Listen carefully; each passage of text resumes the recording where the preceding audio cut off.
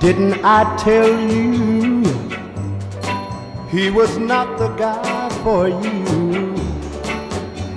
And didn't I tell you he'd break your heart in two?